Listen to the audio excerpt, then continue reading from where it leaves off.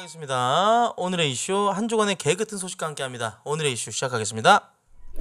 제목 포기하면 편하다는 DC인 뭐가 편하다는 거죠? 어?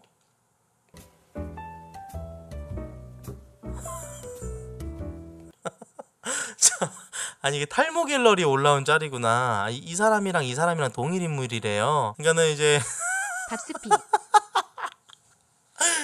야, 근데 아무리 좀 그래도 좀 그렇다. 어, 너무 나버렸다. 아니, 근데 저는 저도 사실 탈모인이지만 이런 얘기 드리기 참 뭐한데 그냥 머리를 밀고 그냥 깔끔하게 가발을 쓰고 다니거나 뭐잘 그게 더 낫지 않나요? 탈모의 단계에 따라서 우리가 취할 수 있는 스탠스들이 있는데 탈모약을 먹어도 이제 안 되는 그냥 그런 수준이 있어요. 많이 가버린 거. 지금 이분 같은 경우도 많이 털리셨어요, 지금. 예전에는 이랬는데 근데 이 당시에도 이마가 많이 털리셨어요. 탈모기가 보이는데 완전 털려 완전 털렸잖아요. 그 완털인데 이런 상황에선 사실 이제 베지터 이마, 베지터 마빡에서 머리를 그냥 야무지게 좀 밀고 그 상태에서 이제 좀 머리에 맞는 맞춤 가발을 해가지고 쓰시면 되실 텐데 이렇게 굳이 이렇게 여기를 남겨가지고 좀 이런 좀 뭐랄까? 첫 번째 짤은 탈모 오기 전 20대 중반 두 번째 짤은 35살 현재. 포기하면 편해. 대신 여자도 포기해야 돼.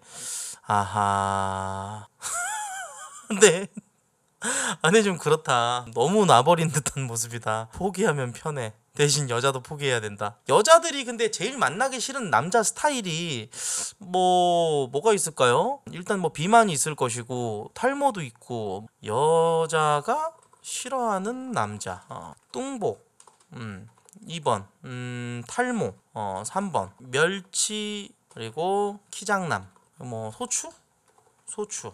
아니야. 근데 사랑으로 극복 가능해. 소추는 여자들은 그렇게 크게 크게 뭐 저기를 안 하더라고. 그러니까 성적으로 아예 그냥 그 기능을 잃은 고자만 아니면 어, 사랑하면은 다 극복 가능하다고 하더라고. 피부 뭐게 얼굴 곰보 말하는 거죠? 곰보. 어. 제가 봤을 때 원탑은 일단은 여기 보면은 자기 관리에 관한 것들이 조금 있어요. 키는 어쩔 수 없는데 멸치나 탈모나 뚱보 같은 경우는 자기 관리거든요. 요 세 가지가 여자들이 싫어하는 남자는 자기 관리를 못하는 남자예요. 피부도 그렇고 키 작은 건 어쩔 수 없는데 이건 정말 억울한 거고 제일 억울하지. 제일 억울한 부류. 제일 억울한 부류지 키장남은 진짜로. 그래서 키 크는 수술까지도 진짜 어, 받는다고 하더라고. 나중에 부작용이 심할 수도 있는 수술이라고 하는데 몇 달 동안 누워 있어야 된다고 하던데. 곰보는 사실 피부 안 좋은 거는 극복 가능해요. 피부과 가가지고 치료받으면은 극복 가능해요 진짜로. 정말 피부 안 좋은 연예인들이나 뭐 이런 유명인들 보면은 박지성 선수라든지 임창정 씨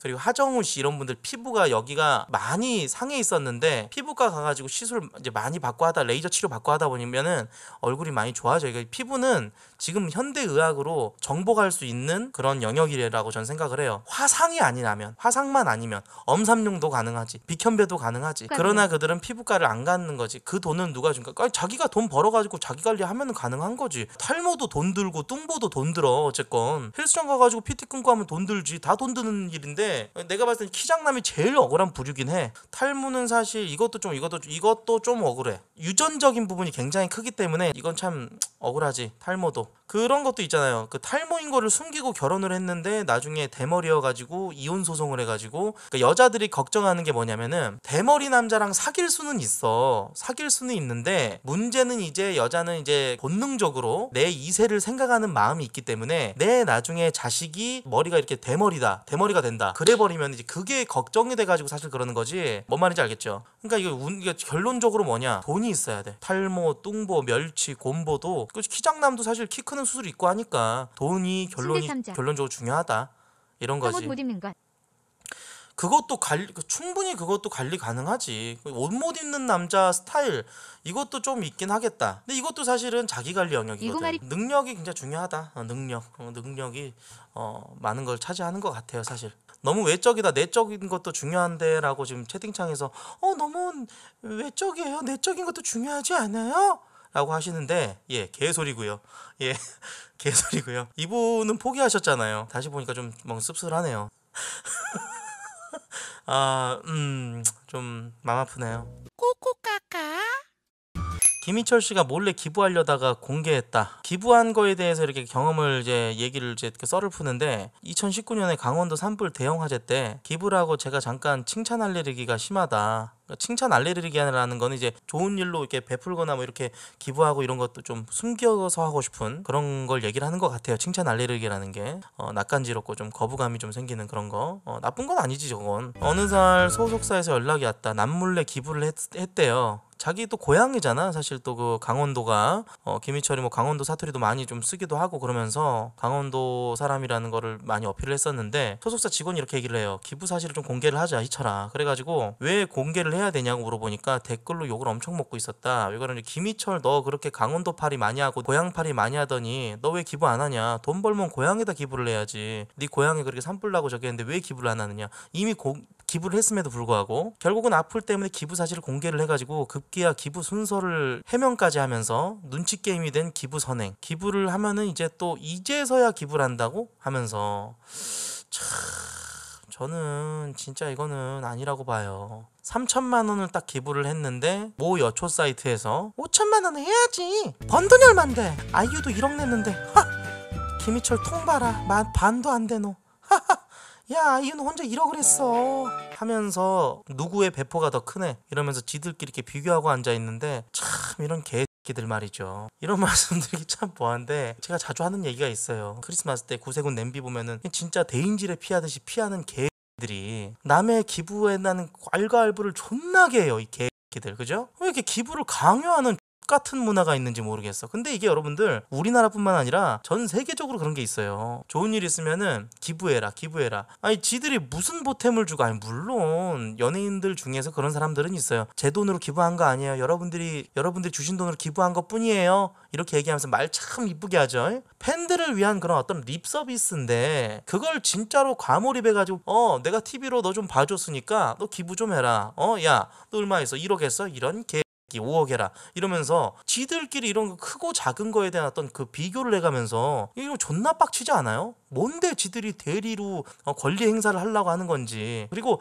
얼마 전에 그 이시연 씨도 기부를 하는데 100만 원 했다고 근데 사실 이거는 이제 좀 조금 좀 사회적으로 이제 어른의 세계로 조금 들어가서 얘기를 하자면은 이시연 씨 너무 잘했죠. 잘했는데 100만 원이 어떻게 보면 조금 약간 7인이닥 같은 그런 느낌도 조금은 있어. 그러니까 내가 7인이닥으로 까이는 것처럼 이제 좀 약간 장난식으로 까이는 것처럼 이시연도 약간 좀 우스개 느낌으로 조금 까이는 그런 건 있어. 왜냐면 주위 연예인들이 1억 몇억 다발로 이제 돈을 이렇게 기부를 하고 그랬는데 꼴랑 100만 원 약간 이런 느낌이 따라 붙으니까 조금 이시연 씨도 약간 후회를 할 것 같긴 해. ね 어, 좀 우리나라에 또 그런 그 정이라는 게 또 있고 그런 거잖아요. 여러분 우리나라 정서상 물론 잘했어. 난 잘했. 난 그거 까고 뭐 이렇게 뭐 조리돌림하고 싶은 생각은 없습니다만 기분은 잘했지. 자, 아, 굉장히 좋은 뜻으로 한 거는 맞아. 맞는데 이제 중요한 건 뭐냐면은 이제 조금 액수가 약간 어, 그런 느낌이다. 7인 이 닭을 미워하지 말라고 하는 건데 제가 좀 그 소신 발언 한번 할게요. 여러분들 진짜 여러분들 조금 마음에 안 드실 수도 있겠지만 7인 이 닭은 여러분들 완전 모함이에요. 어디 계곡에 놀러 가보지도 못한 새끼들이 얘기를 하는 거예요. 까는 거예요. 계곡 가 갖고 4인 기준으로 그 백수 큰 닭을 한 마리에 6만 원, 7만 원 하는 닭이 4인 기준의 1닭이에요.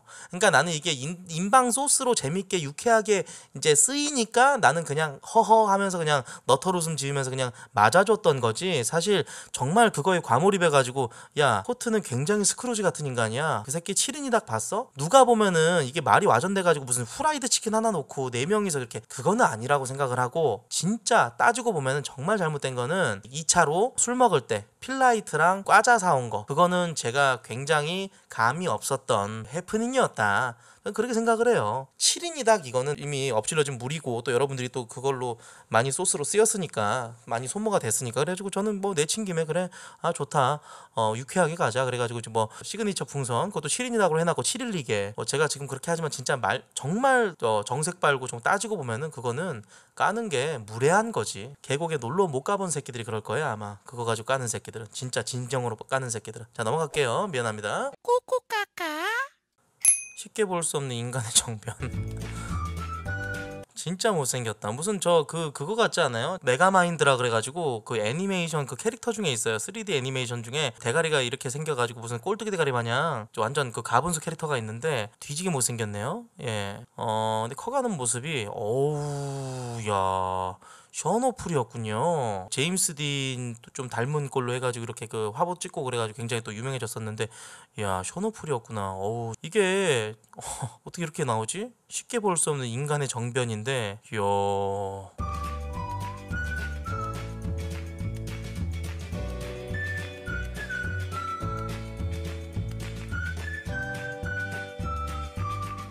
기가 막힌다 선이. 예.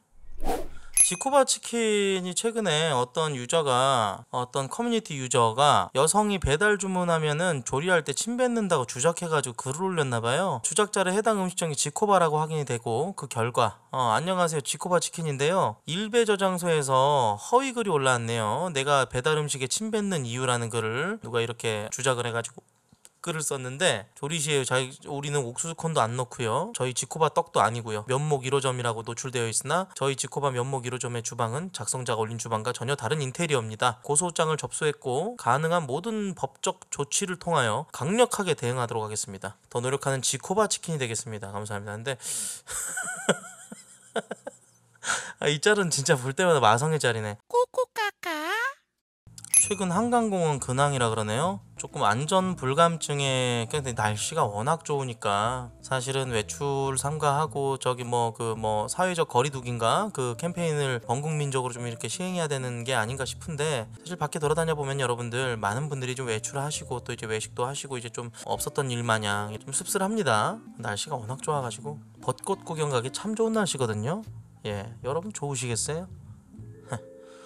아, 아, 아 죄송합니다. 예. 죄송합니다. 숟가락 하나로 시작한 모험이라는 글입니다. 태국 방콕에서 일어난 일인데요. 다리 위에서 밥 먹다가 숟가락을 떨어뜨렸대요. 근데 그게 이제 굉장히 멀리까지 떠내려가서 그 숟가락을 줍겠다고 이 남자도 계속 숟가락을 쫓아갔대요. 그래가지고 찾았을 때는 껌껌한 하수도에서 갇혀서 빠져나오지도 못하고 있다가 맨홀에 비치던 빛을 따라서 거기서 살려달라고 도움 요청을 했나봐요. 지나가는 사람이 그걸 보고 구조대를 불러가지고 남자를 구조.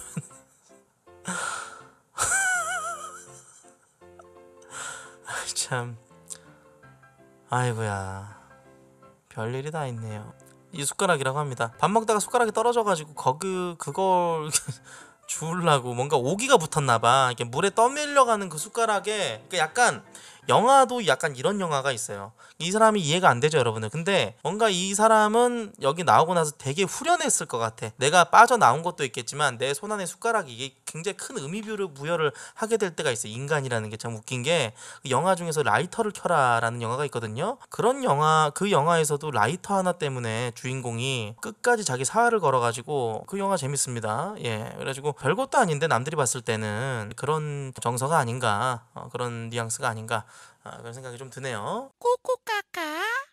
같이 여행 가면 피곤한 친구들 특징. 제 친구들이랑 영, 그 여행 가본 게 제가 고등학교 때 이렇게 그 완도 명사심리라고 거기 가본 거 제외하면은 여행 가본 적이 없는 것 같은데. 극혐. 친구랑 여행 가는데 이 극혐인 부류들. 1번. 자신은 아무것도 모른다면 모든 결정을 미룬다. 야, 너 어떻게 할래? 어, 그냥 뭐 알아서 해. 어, 몰라. 너 그냥 하는 대로 할게. 약간 이러면서 되게 생각 없어 보이는. 저 이런 새끼들 좀 별로 안 좋아합니다. 일상에서도 별로 안 좋아해요. 뭐 먹을래? 아무거나. 이런 새끼들 진짜 싫어요. 자기 주관이 또렷하지 않은 사람들 굉장히 좀 싫어하는데. 자, 2번. 본인 짐은 대충 가볍게 꾸리고 남한테 다 빌림. 이런 개 새끼들도 싫어하죠. 예, 저도 어디 갈 때는 항상 철저하게 챙기거든요. 물티슈 하나 하나 빠진 거 없는지 전날 가기 전에도 항상 이 캐리어를 열어서 딱 확인을 해봐요. 뭐가 들어와 있고 뭐가 있는지. 근데 자꾸 뭐 빌려다 쓰고 이런 새끼들이 진짜 조업해버리고 싶죠. 수학여행에서도 이런 새끼들이 있고요. 어딜 가든 뭘 먹든 하루 종일 불평만 늘어놓는다. 제가 약간 좀 이래요.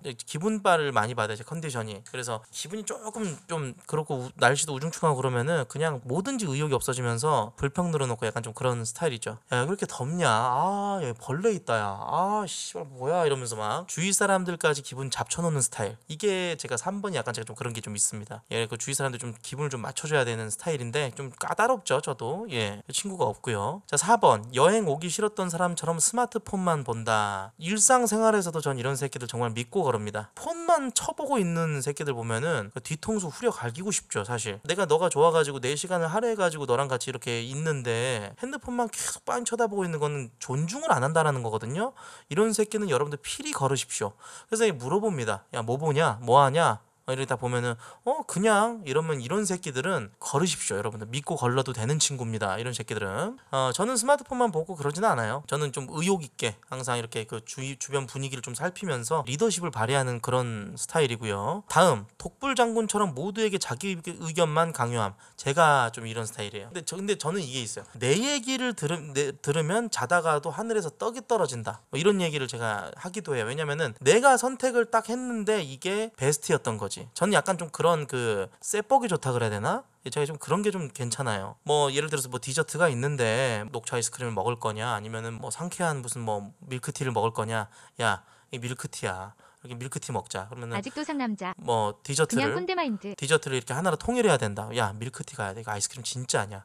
녹차 아이스크림 이거 하겐다즈 이런 것도 아니고 그냥 막대 아이스크림 이런 거 줄 거야. 내가 아까 보니까 좀 그런 거 같아. 야 밀크티 먹자. 여기서 직접 해주는 게 그런 게 좋잖아. 밀크티 먹자. 그러면 애들이 이렇게 아 싫어 이렇게 얘기를 해요. 그러면 이제 아 그래 알았어. 아이스크림 먹자. 아이스크림 딱 먹었는데 진짜 막대 아이스크림 나. 그럼 그 새끼 그날 뒤지는 거예요, 저한테. 그 새끼는 그날 저한테 존나게 갈굼 당하는 거예요. 그 새끼 말만 하면 어우 재미없어. 어 지겨워. 아 씨발 아 좀 꺼져. 뭘 꼬라봐 이러면서 계속 저는 갈구죠. 그렇기 때문에 이거 저제 성격을 한번 이렇게 겪은 사람은 아, 야 한번 해보자. 야 태훈이 한번 믿어보자. 밀크티 먹자. 밀크티 딱 먹으면. 야 말했지. 좋잖아. 좋지. 야, 좋지. 좋잖아. 야, 어때? 괜찮지? 이거야. 이러면서 이제 저기를 하는 거죠. 예, 뭔 말인지 알겠죠? 제 스타일이 약간 좀 그런 스타일. 여러분들이 저를 한번 겪어봤으면 좋겠네요. 자, 다음 6번 새로운 사람이나 장소 등 계획 밖 상황을 무조건 거부함. 새로운 사람이랑 장소. 어, 그러니까 맞아. 나도 이거 좀 저 6번 좀 있고 이 약간 있어요. 특히 새로운 사람. 누가 합류를 해. 우리만의 여행이고 우리만의 어떤 재밌는 그런 저 즐길 건데 꼭 다른 뭐 어, 다른 학교에 있는 자기 친구를 데려온다. 이건 이 새끼가 욕을 먹어야 돼. 새로운 사람을 경계하는 거는 사람마다 케바케기 때문에 이거는 나는 이건 피곤한 거라고 생각을 안 해요. 이건 좀 상대적인 거라는 그런 생각이 좀 듭니다. 계획대로 가야 되는데 그게 아니라 뭔가 이상하게 좀 흘러가. 그러면 거기에 대해서 바로 잡아줄 친구는 분명히 필요하거든요. 제가 그런 스타일이에요. 어, 야, 우리가 얘기하기로는 이거 이렇게 해서 이렇게 하기로 했는데 지금 이게 뭐냐고 이게. 야, 내가 이럴라고 여기 온 줄 알아? 하면서 이렇게 태클을 걸어줘야죠. 새로운 사람, 장소, 모험과 여행은 다른 거예요. 여행은 철저하게 준비된 그런 어떤 스케줄 속에서 준비된 장소와 음식과 이런 것들이 딱 이제 이루어져야지 여행을 제대로 갔다 온 거지. 모험은 아니니까. 이거는 6번은 잘못 쓴 거야. 이거 쓴 새끼가. 자, 다음. 게으르고 시간 약속을 제대로 못 지킨다. 어, 제가 좀 이렇죠. 제가 좀 많이 있네요. 좀 짜증나는 스타일이네요, 제가. 자, 어, 다음 보도록 하겠습니다. 어 제목 전 아싸입니다. 예은이라는 분인데 어.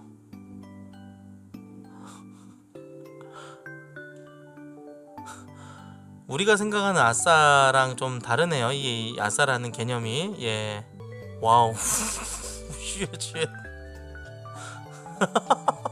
멋있다. 그들만의 인사법 그지 요즘은 진짜 이 인싸들이 아싸들의 그 영역을 침범할 때 굉장히 저는 모멸감을 좀 느껴요. 아싸의 전유물 아싸의 아싸 문화 이런 것들은 좀 지켜야 되는데 인싸 새끼들한테 많이 뺏겨요. 전 제일 싫은 게 딱 봐도 인싸인데 기만 하려고 그냥 어 나 요즘 아싸야. 집에 나 요즘 집이 너무 좋고 나 아싸야. 나 친구 없어. 이러면서 혼자서 주접떠는 개새 끼들 물론 이, 이분들한테 한 얘기는 아니고요. 예 이런 분들이 또 있어요. 그러니까 우리가 생각하는 아싸는 딱 이건데 우리가 생각하는 아싸 중에 최고 아싸는 어 아싸의 표본 아닙니까?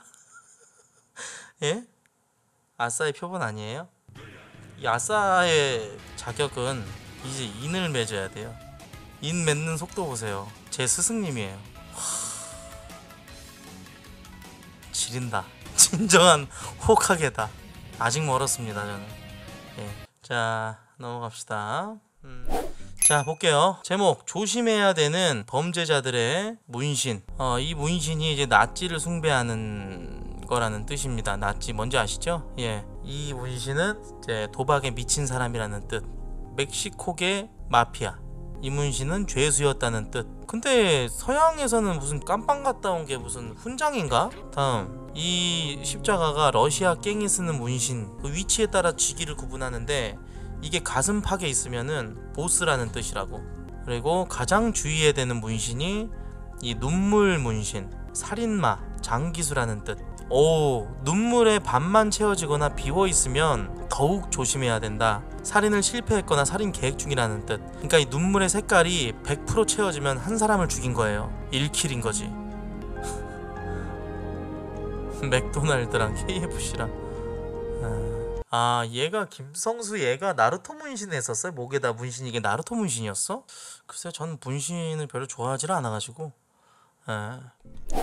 아, 윌 스미스 아들 근황은 조금 궁금하네요. 그 대배우죠, 윌 스미스. 자식들이 참 연예계 쪽에서 굉장히 큰 두각을 드러내고 있어요. 딸내미도 가수로서 뭐 앨범도 내고 노래도 노래도 괜찮더라고요. 또 저 제이든 스미스 배우죠. 뭐 랩도 하고 그랬던 걸로 가- 같은데 2006년작 어, 행복을 찾아서 이거 영화 진짜 괜찮았거든요. 둘이 케미가 아주 좋았어요. 실제 부자지간이기도 하고 윌 스미스 아이, 아들 제이든 스미스가 같이 출연을 하고 여기 아직 어려서 귀여움 그러다가 좀 크면서 약간 중2병이 도지면서 뒤지게 까였어요. 미국인들한테 이 새끼 이거 가오를 너무 잡는다 하면서 성룡이랑 베스트 키드라는 영화를 찍을 당시 아직 아버지 윌 스미스 얼굴이 좀 있어. 그리고 나이를 먹으면서 청소년기에 저스틴 비버랑 좀 어울리고 그러면서 조금 SNS에다가 이상한 글 적기도 하고 그러면서 아빠한테도 좀 조리돌림을 당했어요. 아빠가 토크쇼에 나가가지고 제이든 스미스가 이렇게 주- 중2병 짓을 하고 이렇게 이상한 표정 짓고 이렇게 하면서 하는데 창피한 짓을 많이 하고 다니는데 아빠로서 어떻게 생각을 하냐 이렇게 얘기하니까는 조업 해버리고 싶다. 어, 뭐 이렇게 얘기했다고 하더라고요. 망해버린 어, 영화 애프터스를 찍고 내한했을 당시 이때부터 이마에 아디다스를 받고 다님. 그래도 유전자빨이라 나름 멋, 멋있게 성장하는가 싶었음. 약간 요 표정,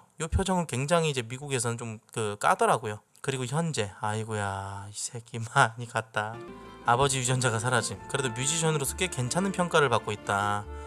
어, 음악도 하는군요. 그러니까 부모나 뭐 자식이나 예, 부모 피를 받아가지고 이렇게 좀 예체능계 아주 능한가 봐요. 배우도 하고 가수도 하고 부모가 잘나면은 자식들도 어떻게 보면 좀 그 길을 잘 따라가는 것 같기도 하고 그러네요. 예, 좀 부럽네요. 요즘 급식들은 모르는 느낌. 그래서 제 방송 이제 보시는 시청자분들이 이제 20대 분들이 굉장히 많거든요. 어, 한번 봅시다. 토요일은 4교시. 일찍 끝나서 기분 좋게 집에 가는 길. 맞아. 이때는 이제 그 우리는 놀토가 없었기 때문에 토요일은 4교시였어요. 그래가지고 되게 기분 좋은 마음으로 학교를 갔었죠. 어, 맞아. 햇살이 강하지도 않고 바람도 살짝 불고 조용한 거리를 걸어갔음. 말로 설명하기 힘든 그때 그 오묘한 느낌들.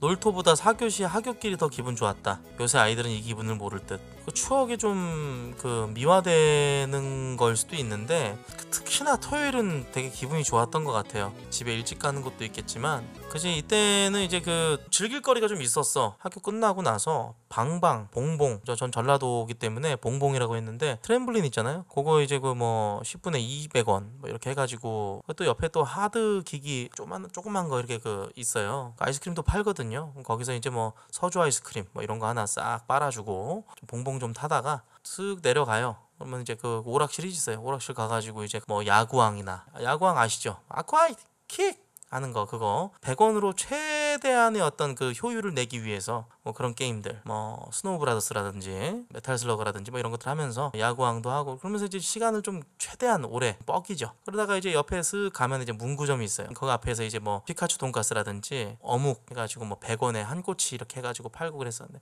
거기서 좀 오뎅 국물 좀 처먹고 옆에 친구도 피카츄 돈가스 먹고 있으면은 귀때기 하나 싹 물어가지고 이제 좀 쌔벼 가고 옆에 쓱 가면 좀 미니카를 돌리고 있어요. 미니카 트랙이 있었어요 앞에. 미니카 트랙 안에서 애들이 막 놀고 있으면 거기서 이제 쓱 한번 구경하고 저학년들이 돌리다가 좀 괴롭혀 주려고 이제 그 미니카 발로 빵 차버리고 이제 도망가죠. 그러다가 이제 저 놀이터를 가면은 구슬을 쳐요. 예, 구슬치기를 하고 있으면 가가지고 쓱 보고 또 팽이치기 하는 애들도 간혹 있고 따조도 있었고 어, 딱지도 있었고 많은 걸 했죠. 예. 근데 가장 개꿀은 뭐냐면 집에 엄마 맛있는 거 해놨다고 빨리 들어오라 그러면 이제 집에 가가지고 그냥 엄마가 해준 뜨, 뜨뜻한 밥 먹고 투니버스 틀어놓고 만화 보는 게 제일 개꿀이었어요. 한 네다섯 시쯤에 공영방송에서 이렇게 만화 나오는 거. 예.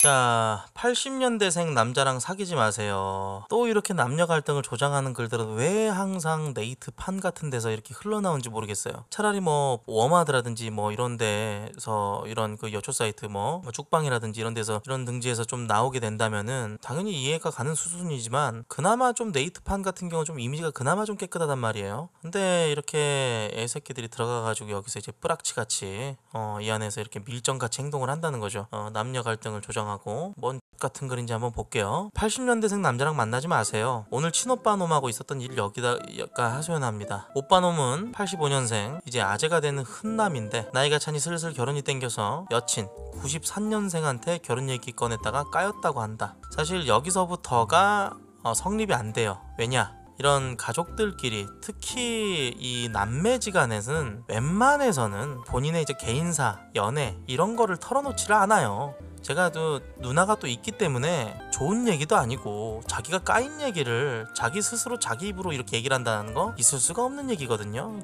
같은 그냥 그런 남녀 갈등 조정하기 위해서 페미년이 같은 배때지 그냥 드러내고 그냥 똥구녕이나 글적글적 거리면서 썩 후갈긴 글이에요. 더러운 족발로. 이유는 1번 제사, 2번 아기 성씨 문제, 3번은 맞벌이 문제였나 보다. 현실적으로 많은 커플들이 결혼 전 싸우는 주제인데 둘이서 의견이 안 맞아서 다투다가 오빠가 먼저 농담으로 이래서 다들 수시녀 찾나 보다 이랬다고 해요. 그랬더니 여친이 이래서 다들 한남 피하라고 하나봐로 응수해서 대판했다고 함. 이제 그 오빠라는 사람도 가상의 인물일 텐데 여기다가 이제 자기의 어떤 그 망상을 투영해 가지고 본인이 이제 여친이에요. 그래서 하고 싶은 말이 어디선가 봤겠죠. 뭐 인터넷 그 저 뭐 그 커뮤니티 뭐 이런 데서 일배 같은 거 보고 그냥 그 대- 거기 대가리 생각 없는 새끼들이 그냥 거기다가 뭐 스시녀 막 찬양하고 그러거든요. 근데 사실 뭐 일반 남자들은 그렇게 크게 동요를 안 해요. 일본 여자 좋아하긴 하지만서도 그렇게 동요를 안 하는데 거기다가 이제 그런 거 보고 나서 여, 이 말에 반박할 게 내가 뭐가 있을까? 이 말에 내가 페미니스트로서 반박을 할 게 뭐가 있을까? 자기 혼자서 각본을 쓰는 거죠. 그러니까 개미친년이에요. 이래서 다들 스시녀 찾나 보다라고 이제 자기한테 토- 털, 털어놨는데 있지도 않은 이 가상의 여친을 자신으로 이제 투영을 해가지고 이래서 다들 한남 피하라고 하나 봐. 로 응수해서 대판했다고 함. 예, 이게 그냥 지 생각 그냥 내내 망상이죠. 개미친년이라고 볼 수 있는데 내 의견은 오빠 때 일배 유행했고 김치녀, 된장녀, 개념녀 단어를 만들었던 것처럼 요즘 20대는 메갈 워마드 유행했었고 한남 같은 단어를 만들어서 노니까 그러려니 하라고 하는데 오빠가 그거랑 그게 어떻게 같냐고 발광을 한다. 솔직히 지금 80년대생 남자들이 더치페이 개념녀 부르짖으며 된장녀를 김치녀를 입에 달고 살지 않았었나? 몇 년 전엔 맘충이란 단어도 생겼던데 일배 안에도 여자는 3일에 한 번씩 패야 된다라는 둥 아, 하는 말에 은근히 동조하는 놈들이 대부분, 대부분이었으면서 그리고 섣부른 일반화를 또 이렇게 하- 얘기를 하면서 공감을 바라는 전형적인 쓰레기 같은 개 워마드 페미니스트 글입니다. 그리고 오빠도 그런 놈들 중에 하나였다. 나만 해도 90년대생. 이게 자기랑 이제 오빠랑 몇 년 차이가 나는지 10년 차이도 아닐 텐데 80년대생, 90년대생도 아닐 텐데 그걸 이제 나누는 거죠. 앞자리가 8, 9 이런 거 가지고도 갈등을 조장을 하는 거예요. 아주 비열하고 치졸하고 참 옹졸한 년이라고 볼 수 있는데 어, 나만 해도 90년대생은 대학 입학하기도 전에 고등학생 때 오빠한테 너는 대학 가도 된장짓 하지 말라는 말을 들어봤다. 대학 초반 때 동기들이 누구는 개념이 있네 없네 목매가 착하네 이런 말들도 흔히들 했고 재작년에 아빠 간암 때문에 간이식 해드리고 결혼 생각도 없었지만 오빠 놈도 한몫했다고 본다. 하여간 지금 그러니까 자기 집이 이제 그 아버지가 아프고 이런 거에 대해서 풍비박산 난 이유가 이제 오빠한테 책임 전가를 한다라는 건데 이 개미친년의 내내 망상이죠. 오빠라는 것도 없고요. 하여간 지금 80년대생 남자들은 요즘 페미니 어쩌니 하는 사람들한테 뭐라 할 처지가 아니다. 또 갑자기 또 원제론을 이렇게 뒤집어 씌우는 거죠. 80년대생은 여자한테 페미니 뭐니 하면서 욕할 처지가 안 된다. 여염을 많이 했기 때문에 라는 거 이제 몰아가는 것 같은데 자 본인들이 20대나 20대 일배하거나 아니면 은근히 일배에 동조했던 과거를 생각해보면 입 다물고 살아야지. 이 글을 우리 오빠놈이랑 만나는 93년생 아가씨가 본다면 도망가세요. 설 선물로 아가씨 레드양 보낸 거 보고 오빠도 여친 집에 뭐 했냐니까 난 남자잖아 라고 딱 한마디 하던 놈입니다. 보통 여자친구가 이렇게 집에다가 보내는 선물 설 선물로 집안에다 보내는 선물인데 남자가 이렇게까지 가부장적이다. 어, 난 남자니까 안 보내도 돼 이러면은 사실 이 동생이 한심하게 보기도 전에 여자한테 사람 새끼 취급도 못 받고 바로 까여요. 기본적으로 흐르는 그런 정서의 기류라는 게 있기 때문에 이렇게 생각이 없다.